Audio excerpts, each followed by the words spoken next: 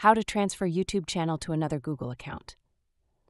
Hey guys, in today's video, I'm going to show you how to transfer your YouTube channel to another Google account. So make sure to watch this video till the end, and let's get started. So first, head over to youtube.com and make sure you're signed into the account that owns the channel. Click on your channel icon in the top right corner and go to YouTube Studio. Once you're inside, look at the bottom left and click on Settings. In the Settings window, select Permissions. You'll now see two options. Click on Manage Permissions. This will take you to your Google Accounts Permissions page. You might be asked to sign in again for security reasons, so make sure you're logged into the correct account. After verifying your login, a new window will open showing the current permissions. Right now, you'll likely see only yourself listed as the primary owner. To transfer the channel, click the icon in the top right of this box to add a new user. Now enter the email address of the person you want to transfer the channel to.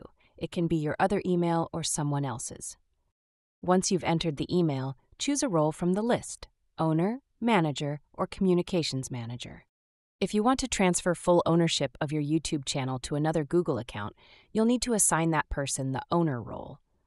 So after entering the email address, make sure you select Owner from the role options and then click Invite. Once that's done, the system will show a message confirming that the invitation has been sent.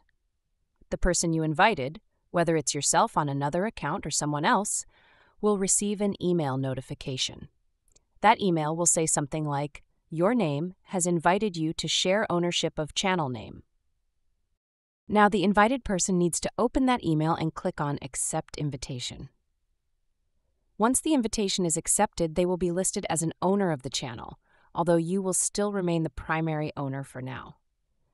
To proceed with transferring full ownership, go back to the Permissions section by clicking Manage Permissions again. You may need to sign in once more to verify your identity. Once you're back in the Permissions window, you'll see a list of all users who have access to the channel. If the invited account has accepted the role of owner, it will be visible in this list. Now, if you're ready to make that person the primary owner, click the drop down arrow next to their current role and select Primary Owner. Then click Transfer. But here's an important note Google requires the new owner to be listed as an owner for at least seven days before you can officially make them the primary owner. So, once the seven day period has passed, go back into the Manage Permissions window on the eighth day.